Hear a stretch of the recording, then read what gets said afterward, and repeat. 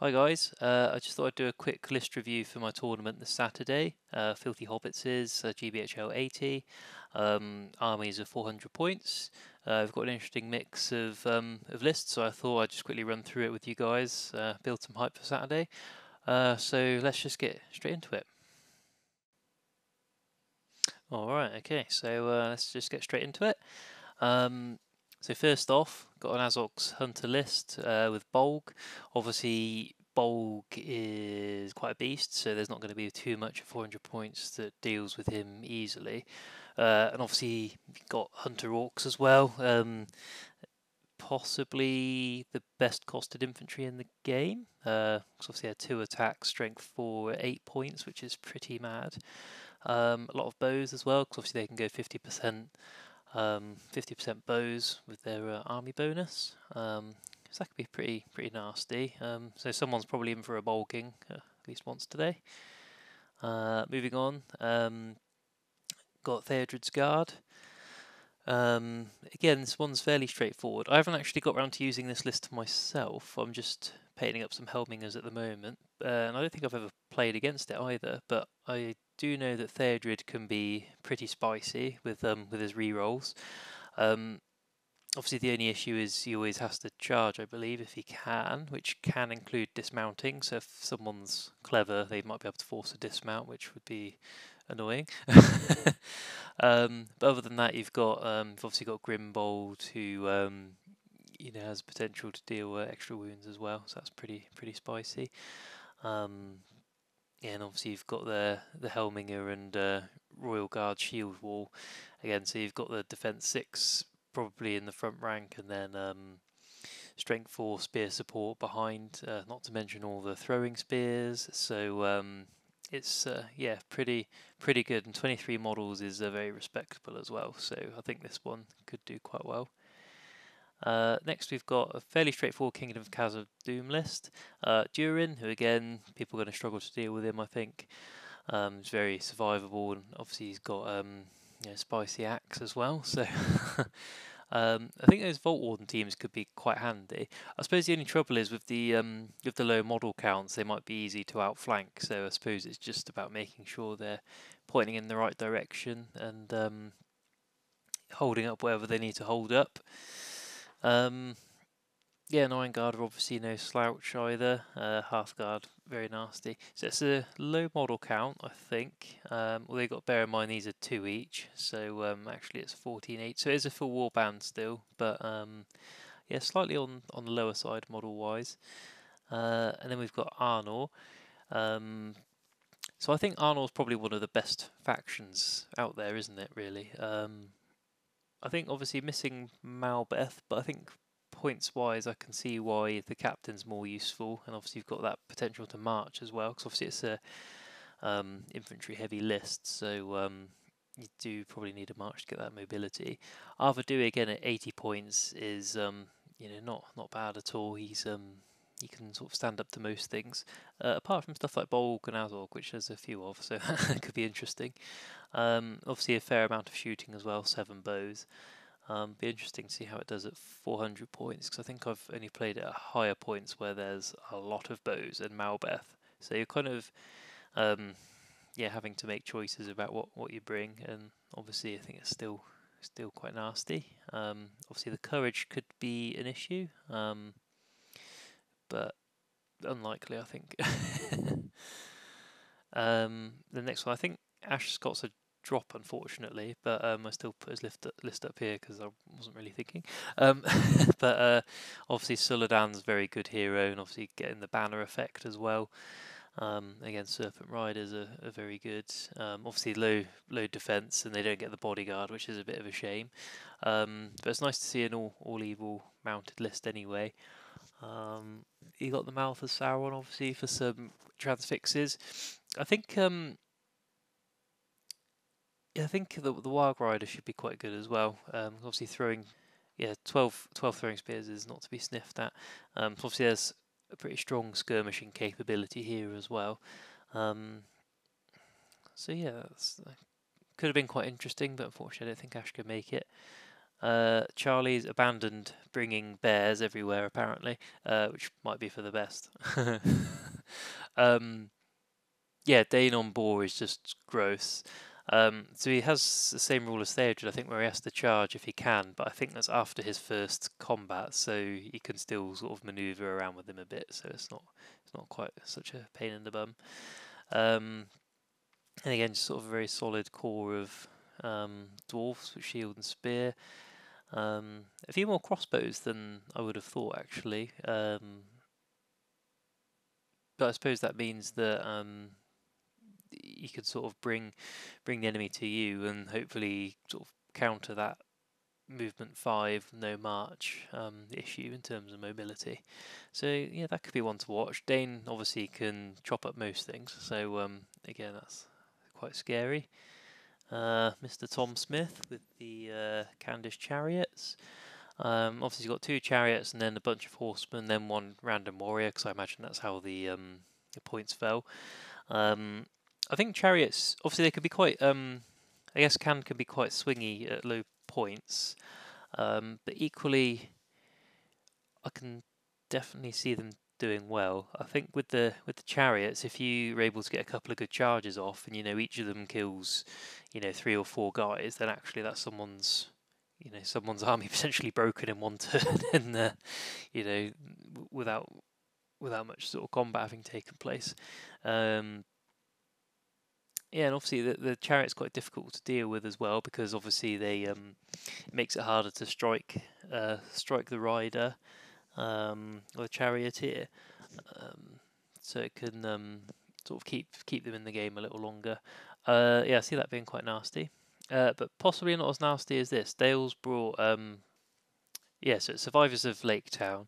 Um, so if you've got Bard, but then you've got the kids as well who up his fight value and give him free heroic combats, which is gross. You've got Alfrid the counsellor who potentially gives might back, which is gross. uh, you got the captain who's there presumably for the uh, for the march and to help bring another cheap warband. You've got a lot of bows. Um, so obviously the the issue is the infantry's pretty crap, so stuff can just sort of walk through it, but. Um, I think the amount of bows, and obviously Bard being massively powered up at 400 points is going to be pretty pretty nasty. Um, and we got Fell Beings of Mirkwood. Uh, I think it's pretty pretty standard. I think the uh, the main thing here was um, the two giant spiders. Obviously, they're quite a big cost sink at this points level. So obviously, um, you know, getting rid of one of them might have meant three or four more orcs, but yeah, I think I suppose there's merit in more spiders and there's merit in more numbers, so it should be interesting to see how it plays out. Obviously, you got the you got the bat swarm and two big hitters, especially the spider queen, and obviously giant spiders are pretty good as well. Um, obviously, all the re-rolls from the spiders as well is going to be nasty. So uh, I can see that doing quite well. The trouble is, is if you're able to just kill all the orcs and survive the onslaught of Razgush and Spider Queen, you can break it quite quickly. Um, and courage can be an issue, but can see that doing doing well. Um, next one's pretty standard Goblin Town. King, Gollum, Captain, Scribe, lots of goblins. Um, I suppose the only thing is um, I have seen this run without the Goblin King to just get even more numbers. So you can kind of get a list led by Grinnah and then put another captain there and loads more goblins. So there are ways of getting more numbers. Um, but I I think 40, 41 should be enough. So, uh, and obviously the capacity to bring more on via the scribe as well. So if you get a scenario where he can just chill at the back, he's able to bring on reinforcements to sort of run interference with anyone trying to shut him down. So, um, yeah, it's difficult list to deal with. You just got to kill goblins, watch out for Gollum with the ring, having that fight value, and uh, yeah, hope you can sort of break him and get get that courage. Um, yeah, that bad courage working against them. Uh, Cameron's bringing um, Wolves of Isengard, led by Sharku, not Sharky. Um, yeah, that was my spelling. um, yeah, just a whole bunch of Wild Riders um, with Captain, then a couple of Wild Wargs. Uh, again, this can be quite difficult. I think the Legendary Legion rules are also quite handy in terms of um, special rules here are quite nasty. The um, ambush and scouts special rules are quite um, quite good in terms of giving giving options, um, especially a Maelstrom, but also just in terms of deploying and then getting in people's faces immediately. Uh, I'm not too enamored with the free heroic with Sharku because he's fight four, so it's like be alright against something like Lake Town, but in almost every other circumstance, like what is he combating off of? um, but no, that's good. I mean, just Warg Riders are very good as well, and obviously there's potential to keep the Warg if the rider dies. So um, yeah, that that could be that could be uh, difficult to deal with, especially with um, uh, with the with the mobility. Um, next one's interesting. It's just a, a thrall list really with um, shield wall, the Guardians King front rank, and then some spears. Uh, I think the uh, Iron Hills Captain and Wargoat is uh, a good a good option as well, uh, just to give you a bit more mobility and hitting power. Because um, I guess the other option is just a uh, um, Yes, I guess the other option would be just to max out on Guardians of the Kings, really, because otherwise you'd be looking at a um, Erebor captain anyway, I think, to to reach the 400 points. Uh, but again, Thrall's survivable as a leader, so that's quite good. And obviously the banner bonus, the high defense. Um, yeah, that's good stuff. Uh, Breaking of the Fellowship, so you got three hunters and then Samwise. Presumably that's just how the points fell. Um, this could be pretty good actually, because obviously they'll just uh, well Sam, I guess Samwise isn't really going to be too helpful without Frodo there, because obviously you need Frodo to power up the free hero combats from Sam, uh, and then his Legendary Legion rule via the rope thing isn't that great. But equally, uh, he can just sort of loiter around to provide a banner effect for your actual hitters. Uh, and obviously, we know these three heroes are good. Obviously, Legolas uh, sits back and shoots to begin with, and shoots leaders' mounts and that sort of thing. Um, gets a few kills, and then that powers Gimli up, and then Gimli and Aragorn go into combat and like wreck everyone's good time. And Legolas almost always dies, at least when I play him, but could be quite good. Um, got Pits of Dol Guldur list. Um, there's not too much to say here. It's good. Um, Azog gets free hero combats. Um, not much can deal with Azog, so that could be spicy. I think it's just going to be one of those um, one of those things where you just target everything that's not Azog and play avoidance and try and tarp it in with something. Like if you can chuck something in and call a defense, then you do, and um, that's going to be difficult to deal with. Um, and you got Jamie's uh, Host of the Dragon Emperor. Uh, I've never seen this at 400. I think the um, uh, I normally see it at 600 and above, so you would then get the uh, Dragon Emperor and then something like Rutabi or Brogir or something like that. Um, but equally, you know, fight fight five shield war um, with access to get to the uh, fight um, strength four as well. Um, you know, if you're able to go three deep and then a re-roll, you're probably not losing very much. So I think it's very survivable. And again, the Dragon Emperor himself is actually um, I think you'd normally want him as more of a support hero uh, who then sort of charges in when the time is ripe. But I think here he'll probably have to be uh, thrown into combat quite a lot. But obviously he's he's very good in combat, so um, it's just the base is a bit of a pain. But I can see this being very survivable and quite um, quite hard for people to figure out. Uh, got scouts, which is obviously uh, I love. I love scouts at 400. I think Joe's run it slightly different to the way I run it. I think um, I couldn't tell you how. I think. Um, oh yeah, Joe, you forgot to give Grishnákh a shield. What are you doing? so he, he's the only way you can get to um, uh, defense six in the list. Everything else is defense four or five, including the heroes. Uh, but Grishnákh can go to defense six with a shield. Um, Grishnákh's very sneaky, and he's a good assassin because obviously he's got backstabbers. Um, and obviously you can power that up with animosity as well. So he's potentially on, uh, you know, plus two to wound if you trap something. Uh, so Grishnákh is actually surprisingly good. Mauhúr here is obviously a very good troop killer. Ugluk uh, can be good, apart from when I use him and he just dies. Um, head taker rule as well, very good.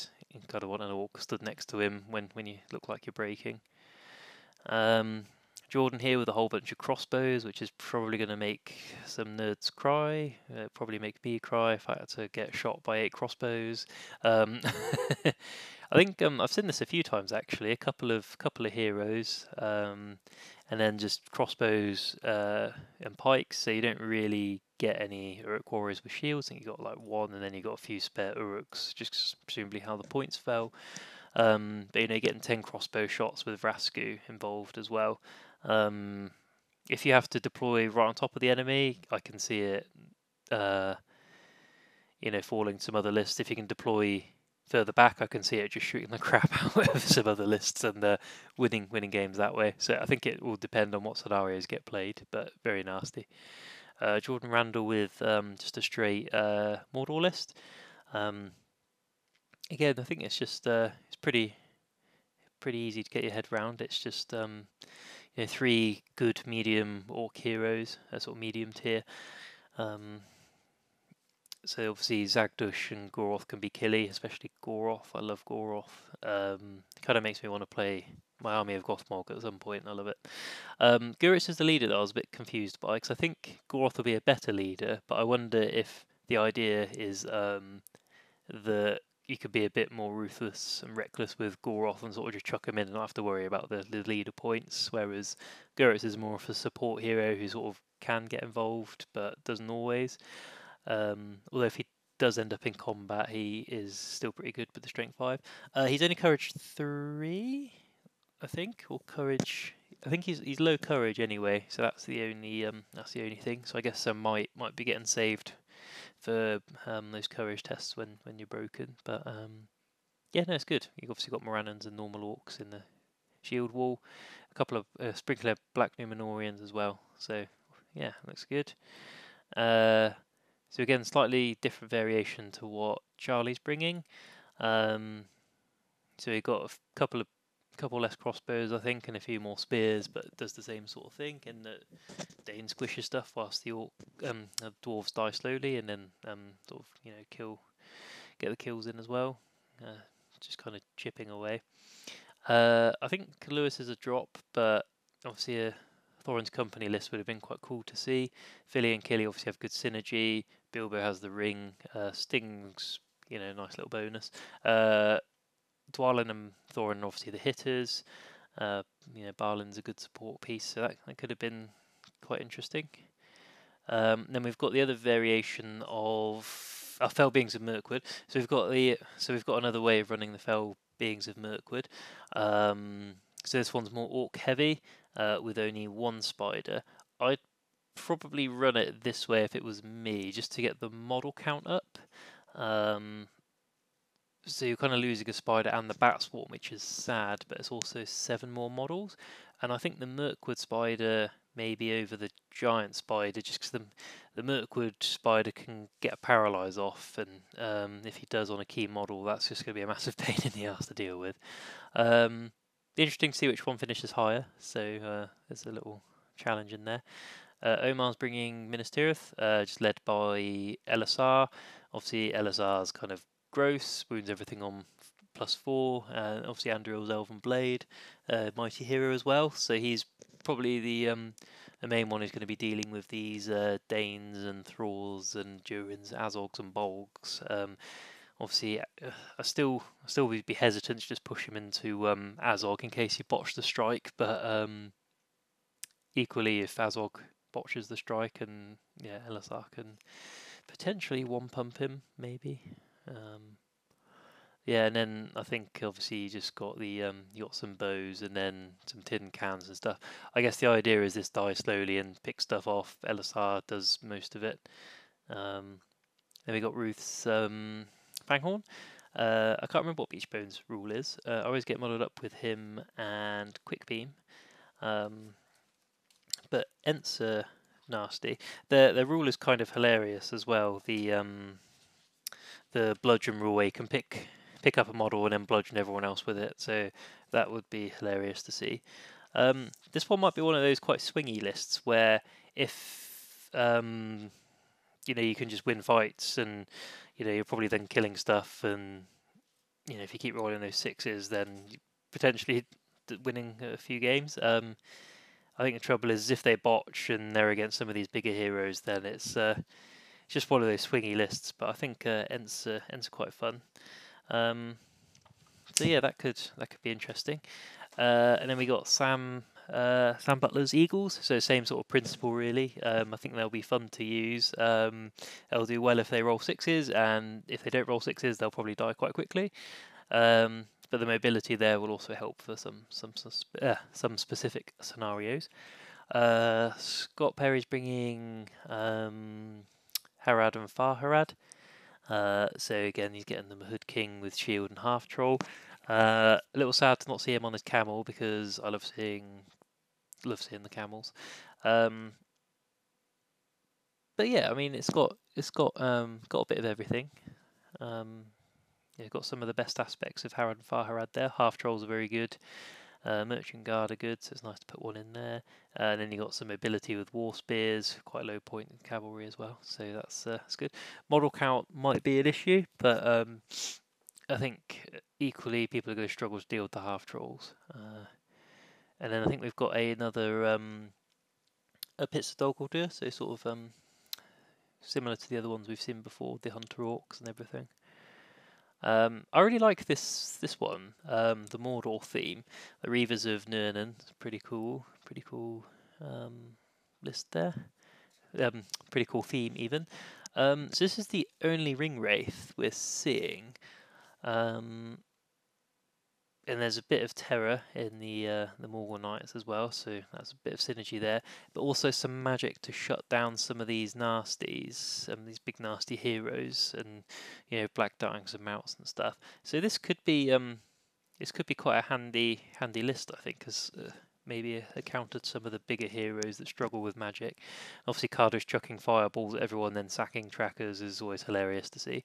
Uh, and obviously, 29 point model count's good. It means that the um, army bonus might get triggered more often, so that'll be good. Uh, Tom Stenny bringing uh, Blackgate Opens. Uh, I love Blackgate Opens. Uh, I've not really made it work at 400 points. I think I like it at 600, but then I tend to get annoyed because then you come up against Ring Wraith and then they just shut this guy down and then you just cry. Um, and you can't deal with terror. but it's it's good. Uh, I think you just need to work carefully to you know leverage those two on one fights to get the army bonus to sort of quickly quickly get killing. Um, but the Mouth of Sauron and Blackgate Opens Troll are both very good. Um, again, the Blackgate Opens Troll can deal with a lot of stuff. Um, so that's all good. Uh, Tom Payne's bringing uh, Rivendell. Um, I think Tom loves loves a Círdan. I think I've played. I think I've only played Tom once actually. There was um there was a Círdan in there. Um, yeah, but it's pretty uh, pretty standard. I suppose the only thing is there's no March, and Erestor is very good. I really really rate him, uh, especially with the Noldoran daggers. That's very good.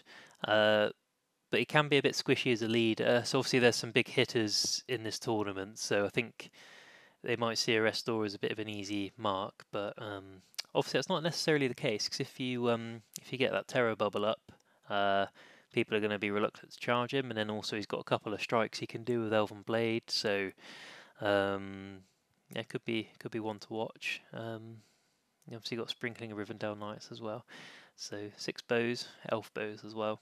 Um, yeah, so that could be uh, could be one to watch. Kurd, I think the only thing is Círdan's going to be have to work very hard to not get charged because I think he's he's good at higher points when you can hide him behind stuff and sort of have a little bodyguard. But I suppose here I don't know if there's the models to screen him too much. So I think it's just going to be careful, careful Círdan placement. uh, Tom Rice, uh, Tom Tom's first tournament, so uh, a lot of pressure to win it. Um, um, so yeah, it's another um, Serpent Horde and Far Harad mix. Uh, again, Suladan just very good. Obviously, the banner effects and all the rest of it means he's a good leader.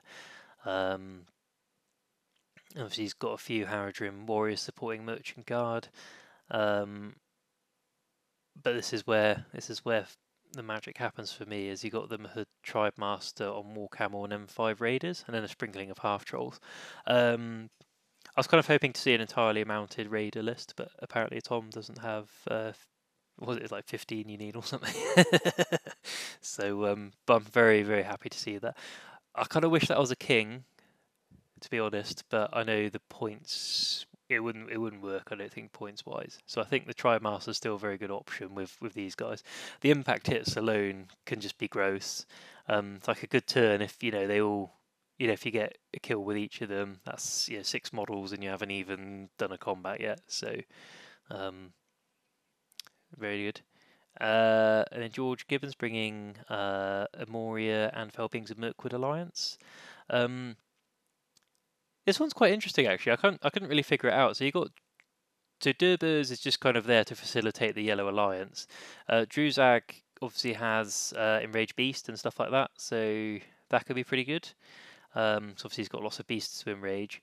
Um, so I did I don't really know to be honest. I, I guess I just have to to watch it and see how it gets on. But you've got you know, you've got a lot of tools here, but low model count, and um, yeah, I don't know. I think it's probably beyond my skill to do well with that. Uh, and now we have the god tier list. This is how everyone should submit their lists to me in future. Just, just so you know.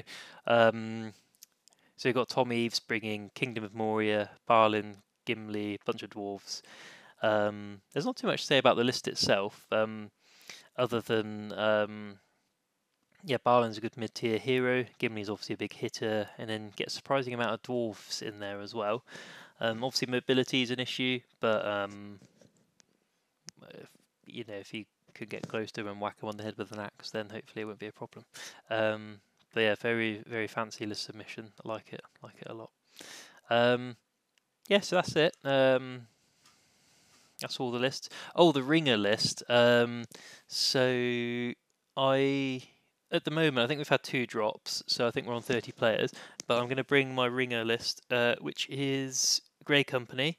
Um, it's basically the three hunters fully upgraded. So Aragorn and Legolas have armor. Um, I think they all get elven cloaks. Uh, Aragorn might get a bow. I can't remember. Uh, I think it comes to 190 points, but you get Anduril for free. So um, yeah, so it'll be good for quick games, but fun games as well. And um, I didn't want to choose a list that's just going to get stomped anyway. So, because um, if someone has to play me, they probably want a game of it rather than just like stomping me. Uh, but yeah, that should be good. Um, cool. So I hope you guys enjoyed this breakdown, and I will see you all on Saturday.